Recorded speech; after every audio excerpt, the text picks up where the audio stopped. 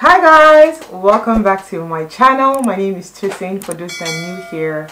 As you can see from the title, we're going to be talking about something very interesting. We're going to be talking about gossip blogs. Yes, just begin to imagine all the gossip blogs that you know, if you know of any. We're going to be talking about them.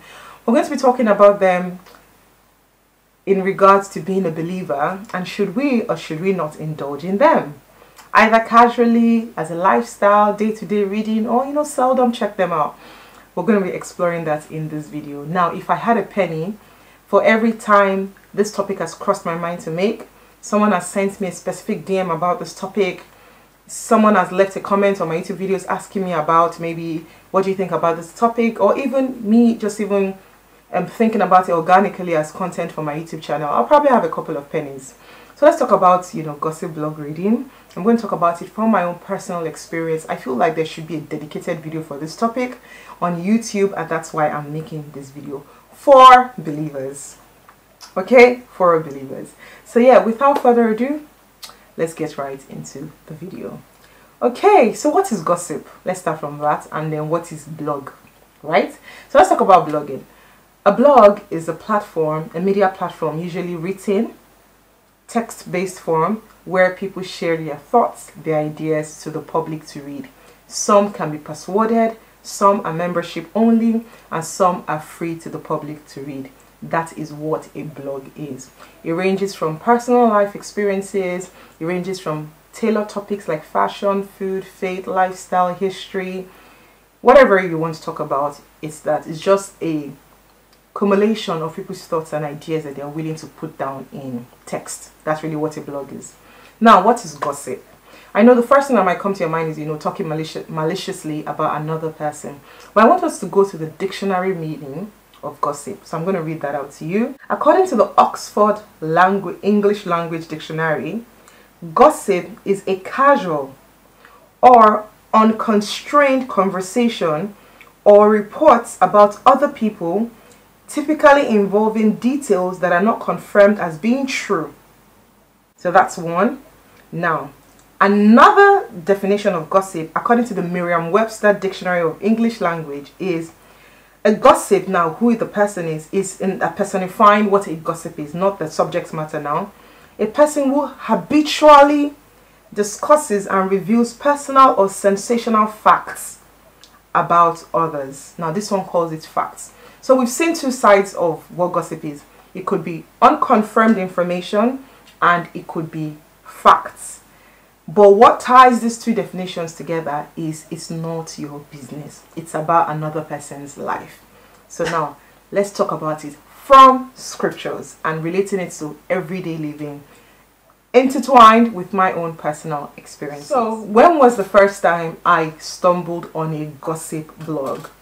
I would say this would definitely be 2011. I went to a university where we did not use phones. Every time we had access to the internet, it wasn't to check out gossip. I don't even think people's business was like that on the internet. It was, um, we just go online, we'll go and maybe social media, Facebook, chat with your parents, check emails, download music, download series. That was what I, we, we, that time, I'm talking as far back as 2000 and even 2005 from to 2011 that those seven year or six year gap. With I, I personally Tosin I did not use the internet for anything. It was what my business at that time. There was not even I did not even know what to check. But then I finished uni and I have this friend. He's a guy by the way. And I was just chatting with him one day on the phone and he asked me randomly was like oh if you open your laptop what are the three tabs that you open oh then I was like oh my my own fashion blog maybe Facebook and I think maybe the last thing was YouTube. Yeah because I, I just got into the YouTube world that time. It was like oh really? And I said okay what about yours? This guy this is someone that um I knew he liked me. We were exploring a casual friendship that was supposed to lead to a relationship. It was a great guy by the way. And it was like oh his own was his work stuff email tab and then he mentioned a popular Nigerian woman's blog. I thought this I'm talking as far back as 10 years ago. And I said, oh, what's that? And he was like, you're joking, you don't know what that is. I'm like, no, I've never even heard the name before. I was like, go and check it out. And I was like, okay, cool. So after the call, I just went online. I typed the name they gave me, blah blah blah. In fact, the person's blog did not even. It was not even a dot .com. I think it was .blogspot, as at that time or something like that. So I went on and I checked it, and I could not believe my eyes. You know, I, I was seeing news and information about people's personal lives. You guys, that day I probably spent at least maybe three hours on that day, on that page, on that website. You guys, I would read, you know, then so now say read more. The the blog page only had like excerpts, only had like summaries of the stories. So maybe they'll say, tossing words, da da da da da, third marriage after previous marriage cash. Not me Jesus' name, I'm just using context. I would say, um, Jennifer, and um, these were popular people of interest in, in the community. Popular, this person, this, this person reveals childhood secrets about so, so, and so, and so. Ah, ah there was like an insatiable appetite for me going through the stories. I just could not, I did not even know if it was true. It was not my business. It was just news. So I just, I was reading, I was reading. Popular former MBGN in rumored relationship with so so and so president. Ah, I was 19. I was 19 that time. And my, probably my pupils were probably coming out of my socket like, ah, ah I can't believe this news. So, you know, I was reading, and before I knew it, you guys, this woman specific blog, it became my routine. this was me before that. I would wake up, I'll do my prayers, I'll do my devotional. I don't even think we had YouVersion devotionals at that time. What I used to do that time for my devotional was actual books, like actual books. I'll buy a devotional book, maybe Daily Manna, maybe, you know, the one for my church that I attend and I will study study my Bible once I'm done. I go on my laptop, maybe check my emails, update up, update my own fashion blog, and I'll maybe go to work or I go and do. I think then I was doing a course. I can't remember what I was doing that period of my life. Before I knew it, you guys, this thing became like a year-long obsession, and I was a Christian. I had given my life to Christ. I was born again. As I said, I was 19. I had given my life to Christ at that time. So I'll just be reading, reading, reading, reading, reading. And this time of my life, obviously I was still a baby Christian. I, I obviously what I know now, I did not know it then. I had not subjected myself to leadership of the Holy Spirit as I ought to at those periods of my life. But I'm just telling you a statement of facts. So I'll go on this woman's website literally every morning. In fact, I now started discussing it with my friends, like, oh, did you hear that? The person say, ah, I didn't realize how popular this person's, you know, platform was, this woman's platform was. There was so much drama, there was, you know, hot topics. Every, there was something about every In fact, you can wake up tomorrow and the person that is on the blog is somebody that used to date their father. Literally, that that's how so close to home those topics were for me. And I used to read it. But guess what? Our God is so good. As I grew in the faith, just not even thinking that was an issue, as I grew in the faith, became, you know, a more mature, you know, believer, a growing Christian, let me put it that way. As I grew in the faith, you know, when I finish praying in the morning, you know, on, or I pray a night before I go to church, and then the next day, I'm online, I'm even reading, in fact, those, that platform was so horrible, for lack of a better word, that the comments were even more vile than the posts. So I will find myself cackling away. People will be insulting themselves in the comments and it will be so hilarious. Someone say, ah, see this one's head like hexagon. Say, and I will laugh. I'll say, ha ha ha. You know, forgetting what the Bible says. That cursed is the person that sits in the seat on of mockers. because the Bible says, blessed is a man that does not walk in the path of the ungodly. So if you're not blessed, there's no middle ground. What are you? You are cursed. Forgetting that the Bible says that you should not sit in a seat of mockers. You should not be a scoffer but I will laugh, laugh, laugh. It was I did I would never type. I would never leave any comments because what's my business? I would never say oh, I would never say wow, I would never say see your head. No, but I was binging on these things. Then, but the more I read it, and as I was growing and God was doing that work in my life, I was getting acquainted with, you know, more mature belief. I was growing into a woman. You know, my blog was even beginning to change. I wasn't doing fashion anymore. I was now beginning to share things from my personal Bible study. I'd come abroad for my master's at this point now and I think I was turning 20 at that time. I was doing my master's here. I had more time to spend alone. There was really no influence of any friend.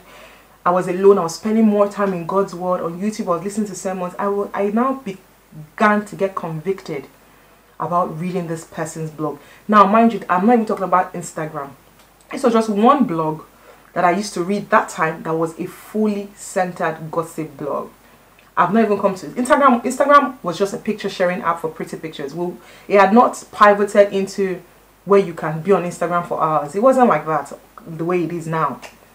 Then I started getting convicted. I'm like, you know what? I shouldn't be reading all this. What's my business with who killed person, who who not even killed, who slept with somebody's husband, whose mother did DNA test, who's talking. As long as it's not national political information, it's not economic news. Even that as well, you have to even guide your heart or guard your heart so that you don't just hear bad news, bad news every time, even about economic dealings that even makes you to worry and not even trust God.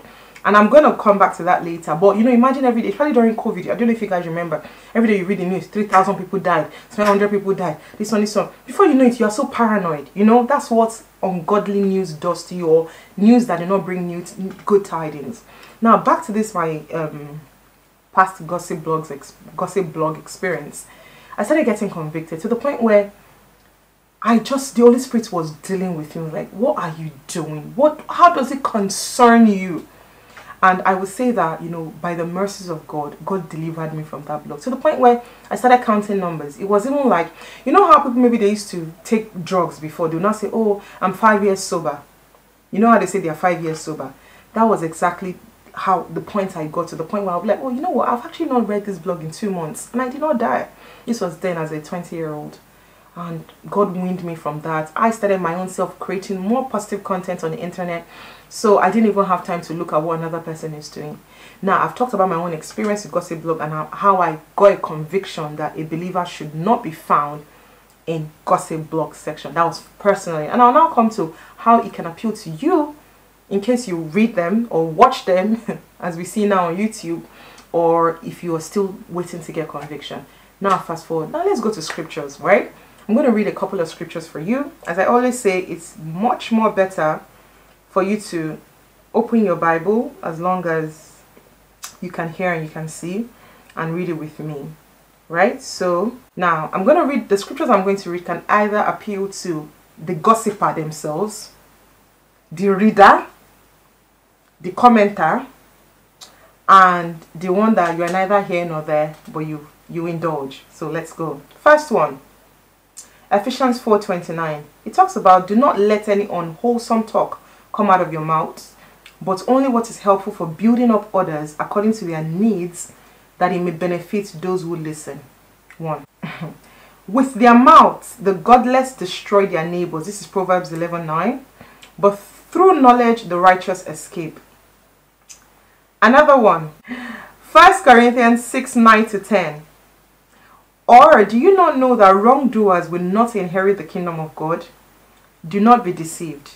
Neither the sexually immoral, nor idolaters, nor adulterers, nor men who have sex with men, nor thieves, nor the greedy, nor drunkards, nor slanderers, nor swindlers will inherit the kingdom of God. Psalms 34:13. Keep your tongue from evil and your lips from telling lies. Proverbs 15:4.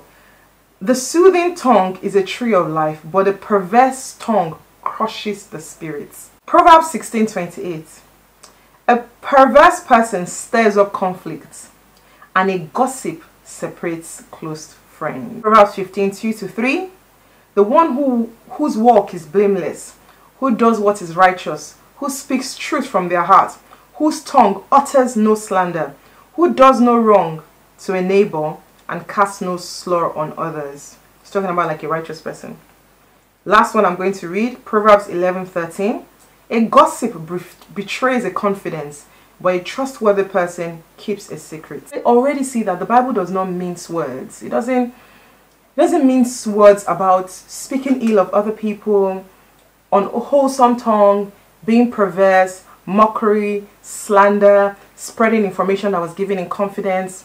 It's almost a no-brainer. And I know that someone that might be, for some reason, things are common. Every believer should know that, you know, you should not gossip. You'll be shocked every believer knows that you should not be you know, indulge in sexual immorality. But we still have people that are even watching this video that they are still going to their boyfriend's house this weekend and their girlfriend's house and they're still going to commit um, sexual immorality.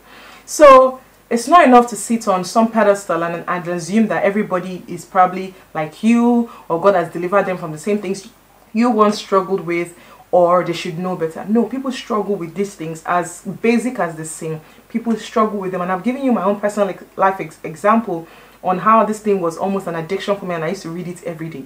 So that's that. So from scriptures, we're already clear on these things. A couple of reasons why specifically and practically a believer should not indulge in gossip blogs. Now, I know that there's a thin line between newspapers and gossip blogs nowadays. So we have gossip outlets that their job is to spread gossip. That's the main reason why a lot of people are subscribing to them. That's their unique selling points. That also share news of maybe economic matters. Maybe the dollar has crashed from so so and so and so to so. Maybe Nigeria has now infected no fuel, subsidy. Maybe there's now going to be, um, I mean, you know, no, what, what's the English word now? For example, low emission zone areas for those that live in the UK, for instance, you know, low emission zone, they're, they're, they're, they're gossip platforms. They're, they're primarily gossip platforms. But now they also share news from those platforms or from those economic you know, topics just to balance it out. So you find that because they now do that, you're almost now justifying why you are on that gossip platform. Are you hearing me now? Let me say that again. There are gossip platforms that they are primarily gossip platforms that the way they started up was sharing primarily gossip and that's what garnered their following. But over time, the gossip has now been diluted with normal economic news, talking about exchange rate fluctuations, university and the government's affiliations, fuel subsidy or no fuel subsidy, national disasters, happenings in other countries, you know, things like that. So you now justify the reason why you are on those gossip black platforms because you find you think that you are getting those other information as well. But guess what? A fraudster or a fake person can also share wisdom. That's just one of the lessons that God gave me this year. A fake prophet can also share wisdom. So are you now going to say, because this person shares some wisdom, I'm going to spend my time in their house? Or should you not say, the Bible says that be ye babes to evil and flee from all appearances of evil. So no matter how relevant the other topics they are sharing is, there are more honorable platforms that I can listen or get those information if they're necessary to the wholesome build or to my own maybe academic prowess or for me to know more if they're really wholesome that I can get that same news without the temptation of if I scroll one up is somebody's personal life information that is out there. That's one. I'm just showing you the tactics that the devil uses. That's one. Mixing good with with uh, with with oh, with pure evil, but putting a little sprinkle of good in such a way that it justifies the reason why you use those things. So that's one. Another reason is the Bible says, "Do unto others what you want to be done to you." That's the golden rule, right? Love your neighbor as you love yourself. Love people as Christ loved the world. Now, I want you to imagine if your own personal life there's a a what would I call it a catastrophe or something happens in your family maybe your own blood sibling or your you yourself you're in a relationship where you're being abused. Maybe you're already married to this person you're doing your best to make the marriage work but the person is cheating on you or the person is beating you or even you yourself you're cheating on the person. Or you have a sibling and maybe the sibling is maybe abusing drugs or the sibling is you know doing things that you know they are fraudulent the person does fraud. Do you want to wake up one day and you see your personal news on the internet because maybe you confided in a friend? Breaking news. Tishagun and Tasare are going through marital turmoils with facts. All the chats that you sent with the, to the person in privacy to show that, look at what I saw my husband's phone, my husband is having an affair, and you see it on a gossip blog. Now, the difference between you and those people that their personal businesses are being shared is just that you are not a person of influence and you're not a person of interest. So perhaps if you actually blew in your own business and you're a very wealthy fabric merchant, or you're a very wealthy oil, you know, oil and gas expert, or you're a wealthy person's daughter, that means that your news too can be there. There's something that they say, my I think Bishop Oyedepo used to say this, that those who make the news don't watch the news. It's cliche, but it's actually true to an extent. Those who make the news, they don't sit down on their life spend on. So it's you that you've not made the news. You are reading about other people. So how would you feel if you truly believe that you know you should love your neighbor as yourself? If you woke up in the morning and you saw your personal chats, your personal things, that there's even embellishments. It's not even true. If it's the correct fact, it's different. But it's not even true. And it's rumor listed. It's not even true. Like, it's just not true. And you see it on the internet. Now, the things that happen to you, we're not saying it's good. We're not saying, oh, you should be encouraged that you're cheating on your husband or your husband is cheating on you or vice versa or your child is going through so, so and so. No. We're saying that that's why there's something called personal. It's between yourself, your loved ones, and your family, if you even care to share. Or maybe as a woman, you're going through infertility woes and you've tried IVF maybe 30 times, 15 times, and it's not working. You don't want to wake up in the morning because you are some celebrity, you have a big business, or you sing, or you act, and then you see something something rocks her world failed IVF amidst marital woes and amidst in-law dramas. You see how these people word this, you know what I mean? I'm sure you can relate to what I mean. So definitely that's another thing. Secondly, you don't want your personal business out there. So why are you reading another person's personal business? That's two. Now, another clear reason that we can see also why gossip blogs, no matter how they like to frame themselves, is that it's one industry that I can never see God saying, well done, my good and faithful servants. You were calling out evil and you were using the sword. You were calling out corrupt politicians, but you were also sharing people's nudes online and their leaked sex tapes. I don't see, I can't imagine the Holy Spirit inspiring somebody to post that. So any job, actually, that I don't see the wisdom of the Holy Spirit behind, I'm not going to be a part of it. And I don't think any believer should. I know as I'm saying these things, it may come off as baba or oh interesting. But I want you to internalize these things that I'm saying. Do you if you as a born again Christian can justify the Holy Spirit inspiring somebody to publish someone's marital woes online, please, I'd like to see your explanation in the comment box below. The Bible says that God is holy and without holiness nobody can see God. So definitely it's a no. Like so that's the third reason why, you know, definitely it's not a business or an industry that I can see any works that you do being inspired by the Holy Spirit. So no. And if it's not inspired by the Holy Spirit, who is inspired by? Satan, the father of all liars. That's who he's inspired by. Another reason is why they cannot curtail the response they get. And a lot of industries can't curtail the response that they get. I mean, even businesses that are selling Bibles can still get bad reviews, right? I'm not talking about that.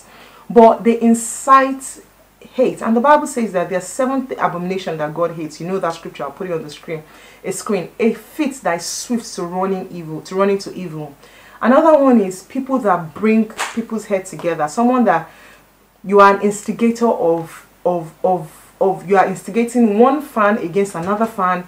You are instigating two people against each other a friend did offend another friend, but you've robbed them of the capacity of settling, settling it amicable privately. You've put all their personal business online that their fans will not start adding fire and fuel and everything. So of course, something that maybe ideally me and my friend I just said, oh, I know I said, you know, what you said to me really hurt my feelings. I don't like it. I'll give you space for a couple of days. But when it's online, it can actually cause an enmity for life because of the public embarrassment. It can.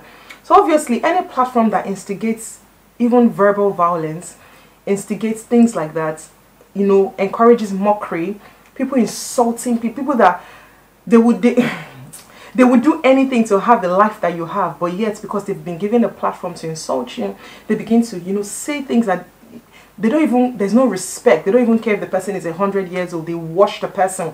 No no there's no it's just gutter behavior that's another reason why gossip blogs are foul. I know as I said earlier that somebody can say, you know, why does anyone need this, you know, tabular um, examples and reasons why? The truth is, what you can read a book and you'll be like, duh, and me, I read a book and I'll be like, wow, eureka moments. one message is not for everybody. Just say what I'm saying. So that's another reason why gossip blogs are not good.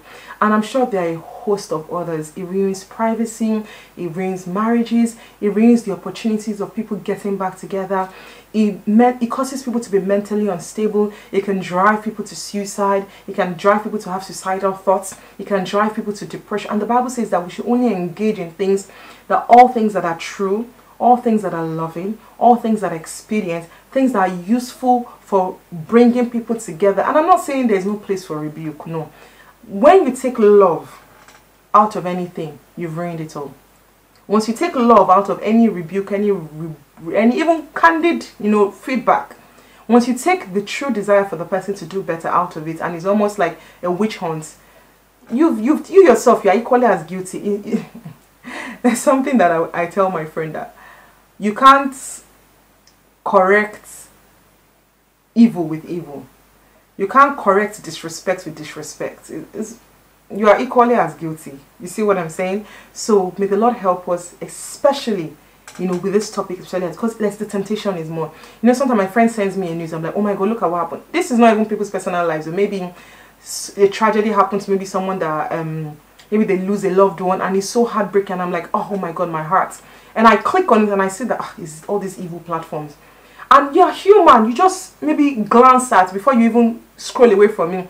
You see people already fighting over something that should should attract only sympathy and well wishes and prayers. Those are the dangers of those places. It just corrupts your mind. I remember many years ago, this is not even gossip blog now. I used to watch all these American um, feisty shows and I'll give it context. All this like love and hip hop all these real wives of all this kind of show, real wives of I don't know I, see it's been so long all those kind of shows right and when I finished watching it they use some really really like condescending lines that anybody that should annoy me after that I'll use those lines on them it makes you very you finish the show and you're already so feisty you're already imagining yourself. It's the same thing with these blogs. Yes I know that because as an older person you might have your own personal life and things that you like. I don't even think about the things. It's a lie. You see there it's like whatever you feed yourself in, it is going to exhibit itself in other areas of your life. You'll see information you're using to sub your friends. You will see things online that maybe is a slightly relate to maybe your own misunderstanding with your spouse or with your with your friend. You begin to add two plus two. You'll be taking evil counsel on board unconsciously. You know, things that ideally you could have settled amicably, but you'll be taking things from context from those strange places and you'll be applying it to your personal life either you like it or uh, either you even intend to or not so basically these are some of the really reasons amongst a host of others i'm sure if i continue this video will be one hour long of why i want to discourage you know usually when i make videos i'll say i want to encourage you i want to discourage you in fact in my own personal life i've noticed that because i don't read those things i have a lot of joy i don't care like it's not my business I, I, I have a lot of it's not it's not my business. So we all keep saying, "Oh, can't you just mind your business?" But if you actually check your, own, you're not minding. If you're minding your business, you will not be there waiting for them to drop another information by 11 p.m. about somebody's life and somebody's marriage. It's not your business. It's a personal development area that God has thoroughly worked on me. Even you know during COVID, you know there was a lot of idleness and there was there was opportunity for for even me to be tempted to even go back to those platforms and begin to binge them you know but you know i thank god for the grace of god so as i said earlier i want to discourage you from reading any form of this gossip blog any platform that was primarily designed to share the personal business and affairs of and other people when you measure it by the word of god it's like what am i doing any platform that shares especially when they don't even give the, the parties an opportunity to to air their opinion. They are not even the court of law. You want to be the judge, you want to be the jury, you want to be the court, you want to be the bailiff, you want to be everything. You want to be the plaintiff, you want to be the... It's not your business, you know? So when you just assess these things and you actually think thoroughly as a child of God, you see that you have no business on these platforms. And I'm not saying this, as I said earlier, from any air of... No, I'm talking, telling you about what God has delivered me from. And I know He can deliver you too. Nobody is too into something that is more than the power and saving power of God. So win yourself of it. Begin to, you know, decide that I don't want to do this anymore. It's none of my business. I want to grow in the faith. Use that time to study your Bible. Use that time to to go and read on, I don't know, something that can add value to you. Just forget the affairs of other people and mind your own life. And stop stop giving commentary on other people's lives. Let it go. So those those are the things that i wanted to share. And also i know i talk about gossip blog. It's not just that. There are even youtube channels that they sit down discussing people's personal lives. In fact there's one i'm going to share this and i'm going to end this video. There was one that i stumbled on. I can't remember the name of the channel i wouldn't even want to share it on my channel and i don't know i just stumbled on a person's video. The, the topic was captivating and i clicked on it. This is a while back. And the person was saying this thing was like no malicious intent. The person was just stating facts of the case. And I was like oh in my subconscious oh I like this channel you know no foul words just stating facts. And do you know the Holy Spirit said to me? There is no honorable way to gossip. There's no honorable way to gossip. So I want to just encourage you not to be a fellowship with the ungodly. Don't do it. Okay? Okay. So yes thank you so much for watching this video. I'll be more than happy to see your comments. I really hope that you you know feel led to drop comments and i'll be more than happy to read to like to engage and to respond. And if you see any parts of this video that really really minister to you feel free to pick up your phone rewind record those parts and share it on your social media platforms so that more children of god can hear this message. So yes i love you guys. Until next time stay blessed. Bye bye